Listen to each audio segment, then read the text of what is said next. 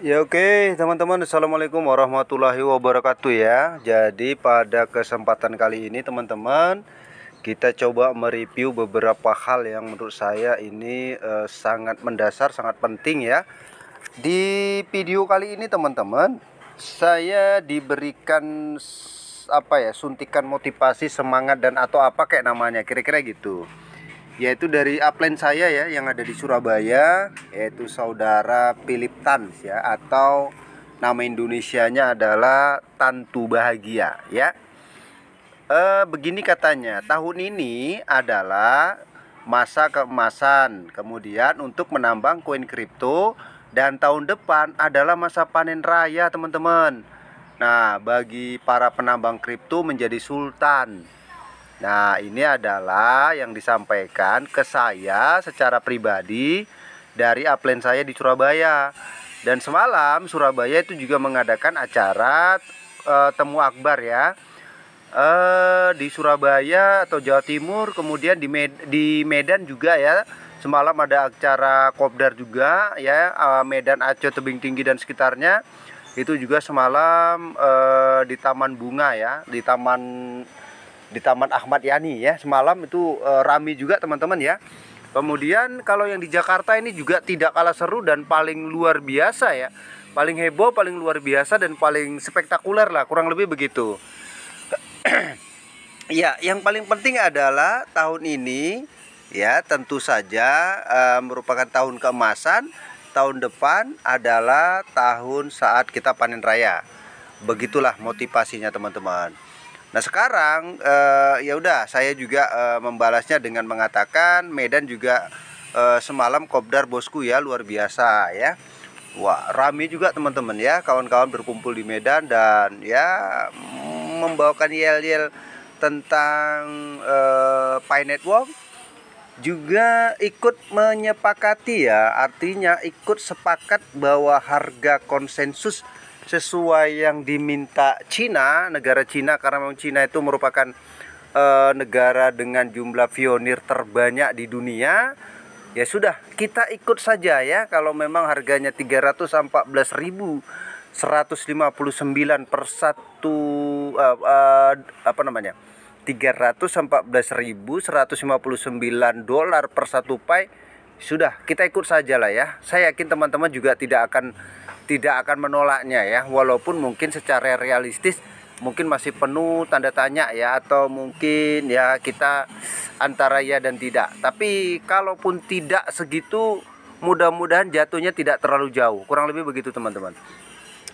Lah kawan saya ini atau upline saya yang dari Surabaya ini dia mengirimkan sebuah link ya langsung saya buka aja saya tahu siapa yang punya channelnya ini dia oke teman-teman sambil Ya, ini yang punya channel orang Lampung ya teman-teman ya. Nah, jadi di acara apa namanya ya, uh, kopdar kira-kira gitu ya. Di situ uh, nanti kita sama-sama lihat bahwa acaranya uh, ada di Ancol ya, ada di Ancol semalam. Sungguh sangat spektakuler teman-teman ya. Tidak gampang mengumpulkan jumlah orang uh, sebanyak itu ya. Tetapi perlu ya paling saya ya paling saya yang punya channel sekedar info atau admin sekedar info ini e, mencoba untuk mengingatkan ya teman-teman mengingatkan sekali lagi e, akan tidak ada artinya ya akan tidak ada artinya kita melakukan euforia besar-besaran tapi kemudian ya tapi kemudian kira-kira gitu ya teman-teman tapi kemudian kita lupa perasa sandi itu maksudnya ya jadi acara ini luar biasa ya. Saya memberikan A plus yang sangat luar biasa. Saya memberikan eh, apa namanya dorongan semangat juga yang sangat luar biasa eh, atas terselenggaranya acara ini. Tapi teman-teman, ada hal yang mendasar yang perlu eh, saya ingatkan sekali lagi. Saya pikir eh, nggak eh, apa-apalah kita euforia, kita bahagia karena tanggal 28 adalah tanggal uh, apa namanya ya migrasi koin kira-kira gitu. Atau pay today atau uh, apa namanya akan dimigrasikan koin kita ke uh, wallet atau ke pay browser.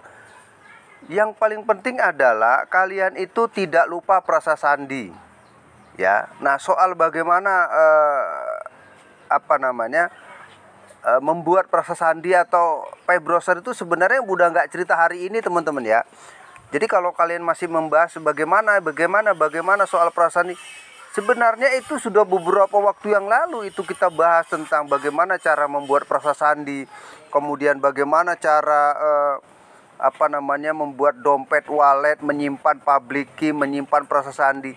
Ini cerita beberapa waktu yang lalu karena hari ini sebenarnya kita sudah harus stay ya harus uh, udah siap menunggu untuk migrasi koin Pi kalian itu ke ke Pi browser teman-teman ya. Nah, koin Pi kalian itu ke Pi browser dan eh, setelah ya nih ya, ya ada info terbarunya. Setelah ini teman-teman ya saya perhatikan ya. Setelah nanti migrasi koin Pi kalian ke Pi browser nah informasinya ada di sini teman-teman ya. Ya teman-teman informasinya itu ada di Twitter ya ini dia dari salah satu akun Pi Network News Ya, ini dia. Kita sekarang coba buka lalu kita terjemahkan. Ini dia teman-teman ya. Ini penting teman-teman. Kalian tuh tidak boleh menyepelekan hal-hal begini. Ya. Katanya pionir perlu tahu. Setelah bermigrasi ke Mainnet Pi akan ada masa tunggu 14 hari. Bagian yang tidak terkunci akan bebas digunakan segera setelah masa tunggu 14 hari ya. Ingat ya kalian belum boleh menggunakan uh, pi yang tidak terkunci sebelum lewat tangga uh, eh, 14 hari. Dan bagian yang terkunci hanya akan dapat dipindah tangankan setelah berakhirnya periode penguncian yang Anda pilih. Oke ya. Jadi di sini jelaskan sekali lagi dan bagian yang terkunci hanya akan dapat dipindah tangankan setelah berakhirnya periode penguncian yang Anda pilih. Contoh, ya contoh nih teman-teman ya. Kalau misalnya kalian menguncinya, ya ada yang dua minggu, berarti setelah dua minggu kalian boleh menggunakan. Terus ada yang enam bulan, ya misalnya ya periode pengunciannya atau lock upnya enam bulan. Setelahnya kalian boleh menggunakan atau memindah tangankan atau dipindah tangankan atau dibarter lah kurang lebih begitunya ini maksudnya. Nah atau ada yang satu tahun, ya ada yang uh, tiga tahun, kira-kira gitu. Nah jadi uh, periode penguncian atau lock up itu uh, kalau misalnya kita lock up dalam waktu yang singkat, kita hanya mendapatkan sepersekian persen atau kecil lah. Kalau kita menguncinya satu tahun, ya dapat presentasi pengunciannya atau apa staking lah ya atau kita kayak melakukan uh, seperti deposito sih sebenarnya. Sederhana seperti itu kalau sudah kalau kita melakukan penguncian atau lock up itu. Nah kemudian kalau tiga tahun itu persentase untuk mendapatkan koin atas penguncian tersebut semakin besar.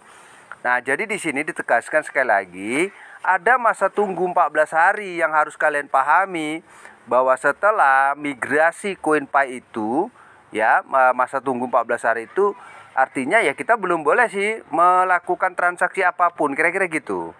Nah setelah 14 hari ya insya Allah ya insya Allah ini uh, sudah bisa dipindah tangankan.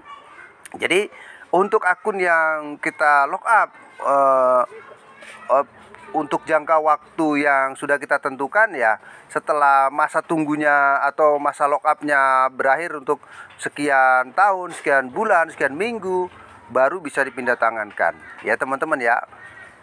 Paham lah saya pikir seperti itu aja lah ya. Nah, dan di sini ada keterangannya lah teman-teman. Di sini cukup jelasnya ini sebenarnya kan? Ah ini dia ada 14 hari ya masa tunggunya ya. Nah seperti itu. Artinya yang saya lingkari ini uh, saya pikir uh, apa namanya uh, terjemahannya ada yang uh, di bagian ini lah teman-teman ya. Sorry ya. Nah ini dia. Inilah terjemahannya di sini dari teman-teman ya Oke, sorry, terjemahannya ada di sini dia. Oke. Nah, jadi uh, itu ya saya pikir ya bahwa supaya nanti kita sama-sama bisa memahami apa yang uh, menjadi informasi dari uh, core team atau dari P network ini ya. Ini harus kita sama-sama mengerti bahwa 14 hari adalah masa tunggu setelah uh, migrasi CoinPy kalian ke Pi browser ya teman-teman ya oke Jadi uh, saya pikir ya, saya pikir itu teman-teman ya. Nah terkait dengan acara uh, acara semalam ya, acara kopdar ya, acara kopdar di uh, Jakarta, Surabaya dan Medan ya. Nah, Medan itu juga tidak kalah seru teman-teman. Beberapa kawan-kawan semalam kumpul di sana. Ya, ada yang dari Serdang Bedagai, ada yang dari Medan, ada yang dari Aceh, ada yang dari Tebing Tinggi dan lain-lain. Ada yang dari Deli Serdang teman-teman ya, kumpul bersama di Taman Ahmad Yani ya. Nah, di bundaran Taman Ahmad Yani depan Sekolah Harapan dan uh, lumayan meriah teman-teman ya. Nah, lumayan meriah dan itu adalah bukti betapa eh, kawan-kawan uh, untuk wilayah Medan juga mendukung konsensus uh, senilai ya uh, 314 ribu dolar uh, untuk satu pai. Ya, jika ya uh, jika hal itu nanti terwujud ya insya Allah uh, sukseslah semuanya. Kalaupun misalnya tidaklah sampai seperti itu, mudah-mudahan ya tidak terlalu jauh turunnya kira-kira gitu ya walaupun sebenarnya harga seribu pun kita syukuri kira-kira gitu ya kalaupun nggak seribu ya seratus pun sebenarnya sudah sudah cukup besar sih buat kita ya.